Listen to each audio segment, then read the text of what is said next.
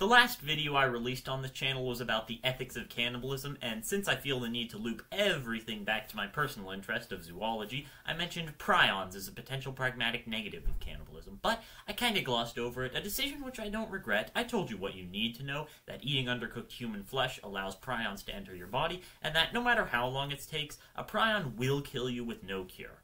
But let's talk about how exactly that happens. First of all, what is a prion? Well, I referred to it as a weird protein, but the technical term is misfolded, and to explain that, let's first talk about proteins and their role in the body.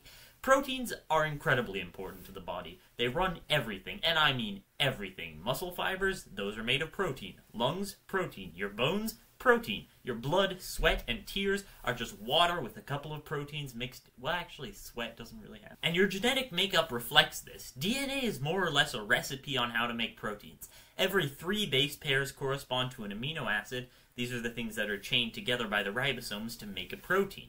And the enzymes that oversee the whole process are. Do I even have to say it at this point? But back to the ribosomes. When it chains together all of the amino acids and makes a protein, it comes out like this. But proteins don't really look like this, and they wouldn't work if they did. It first has to be folded. We start like this, the primary structure. From there, it either becomes a Chad alpha, a helix, or a soy boy beta, a sheet-like secondary structure. The tertiary structure is where it bends up into three dimensions, and finally the quaternary structure is when it loops back around on itself and becomes a folded protein. Now, this process is almost entirely automatic. The way that the chemicals are arranged with the bonding sites and like dipoles, that forces different parts of it together, but the process can be interfered with.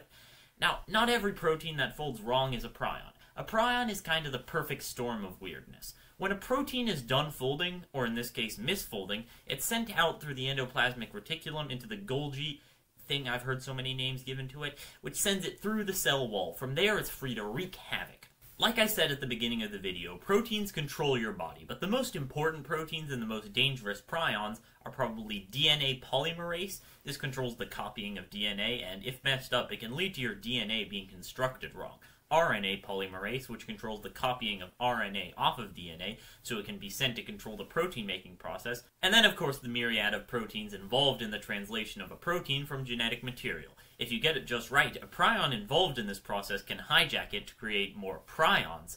But that would be so improbable, right? There are so many moving parts involved in DNA, and a prion would have to change everything just right to make it work.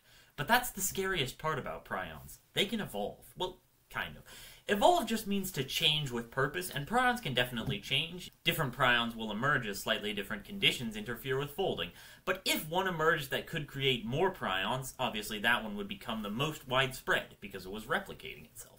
It's a microcosm of natural selection. So be wary of prions.